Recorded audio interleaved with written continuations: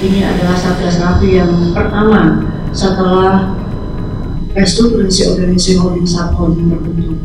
Dan alhamdulillah di tengah pandemi COVID dan juga dengan struktur baru, eh, Direktur Integrated Logistic and eh, Supply Chain di tempatnya Pak Mul ini telah menjalankan tugas sebagai integrator di operasional dengan baik sehingga Satgas Rapi ini bisa berjalan.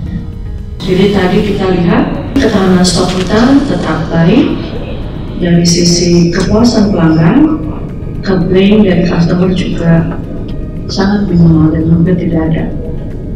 Jadi, tentu ini sangat uh, bagus sekali kombinasi antara digitalisasi dan juga uh, sistem monitoring dan uh, bagaimana tim kita melakukan sinergi